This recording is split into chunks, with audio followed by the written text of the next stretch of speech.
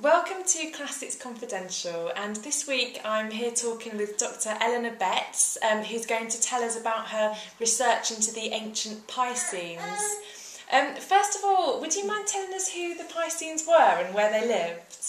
Um, yeah, they're Italic people um, in central Adriatic Italy, um, kind of next door neighbours to the Etruscans, a little bit further um, further south. Um, and an Iron Age people, um, so pre-Roman. So Um, they were living in the area, some of this definable culture, um, between around 900 BC and 268, which is when they were finally sort of formally colonised by the Romans. Seems to have been sort of sniffing around for a while by then. Yeah.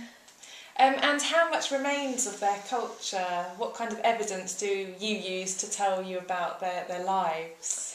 Um, most of the evidence we have is from cemeteries. So um, there are large numbers of warrior burials, um, sort of princely burials, so very elaborate um, bur um, burials with some various weapons and ornamentation uh -huh. um, um, incorporated. Um, not so much about settlement, right. don't know very much about um, the settlement, other than they're probably pre-urban or proto-urban, if you sort of want to mm. use those um, terms.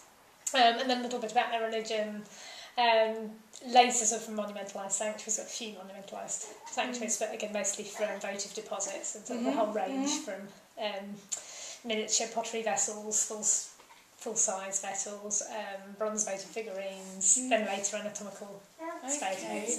So, do we know anything about their gods? I mean, did they have the same gods as the Greeks, for example? Um, big question. Um, most popular deities, we don't know what they were called in Picenum. Um, but the most popular deities seem to have been um, Mars and Minerva, oh, right. just from the prevalence um, of bronze photo figurines, um, sort of Mars or warrior gods um, and warrior goddesses. Mm-hmm. Um, although another interpretation of those may be that they're just representing the warrior, you know, male and female warriors. You know, we've got oh, warrior right. women. yeah, yeah. Um, And then, sort of in the southernmost part of the region, sort of around the, the Tronto Valley, um, you see much more evidence of Hercules. And again, later on, as we get into the Roman period, um, you see sort of Temple's Hercules cropping okay. up there, but then sort of getting onto sort of Roman and the, the coastal area. Um, so there's some regional distinction. Um, the only named goddess we or deity that we have at all is Cupra. Um, okay. Again, um, so the, the name comes from the Roman period, so we don't no, for sure that that's what um, the Pisces called her. Um, but it's, and she sort of seems to have been sort of very much sort of, uh, equated with Hera, um, with Venus, Aphrodite. So she's sort of, you know, that's a real all encompassing uh, primary yeah. goddess. And do you get visual representations of her then? Difficult, debatable, debatable. Um, there some some representations have been identified as, as being Libra, but there's nothing really absolutely firm. Um, and again, it's sort of really tracking back from the Roman period evidence, um, where there's sort of inscriptions talking about the princes, the sort of priestesses right. of Cupra. Um, and then if it goes maybe, um, it's got a good example from um, Cemetery Belmonte Piceno of this winged um, or two ivory winged figurines, um, sort of flanked by two other sort of female figures. And I think it's Delosso who, um, sort of early 20th century, who, who sort of speculated that the two,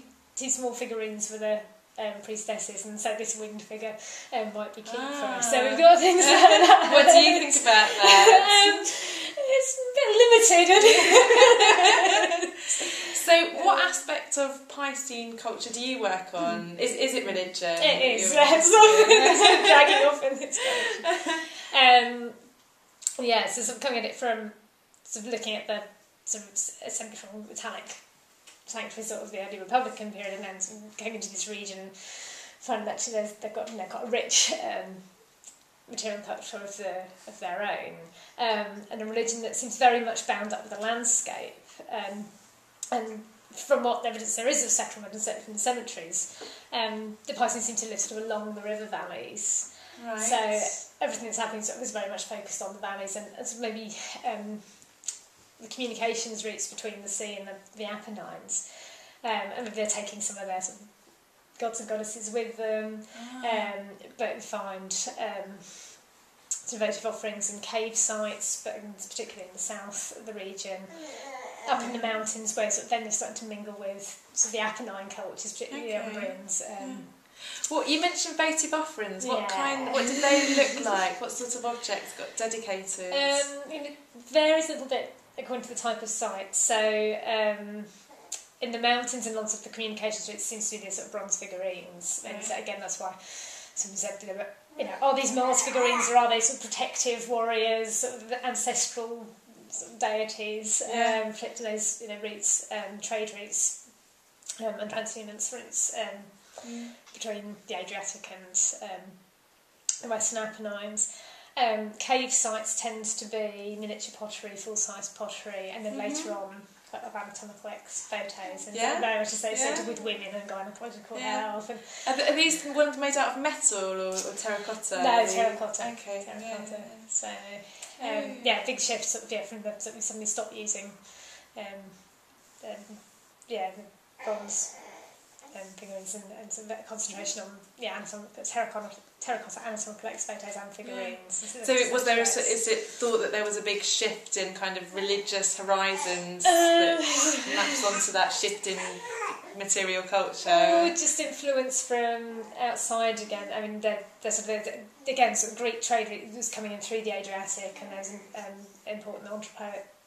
d'Ancona. So maybe partly that it's coming, so the influence by Greece and then from other parts of Italy mm. later on, and then to get into the Roman period, you, know, again, you sort of see the, the ex photos really sort of yeah. taking off. Yeah. Um, and finding them around spring sites as well, so that sort of, nice. sort of seems to sort of follow the pattern that you see in lots of the rest of certainly central Italy. Yeah. Um, yeah. Finally, um, Finally, um, if somebody, if, if we wanted to go and visit Piscean sites or look at Piscean material culture, can you recommend some places that viewers could visit? Um, have got to go to Italy.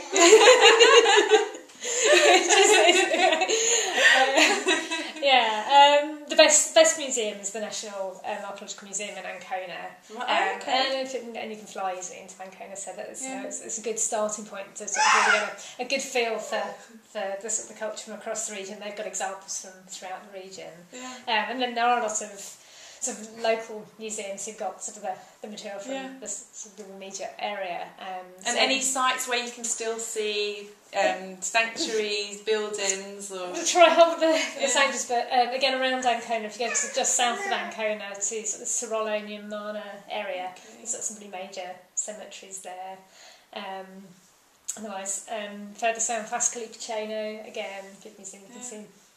Fantastic. Well, we'll put some links to those places on, on our website. And thank you very much for telling us about your research and about the, the ancient Piscenes. You're welcome.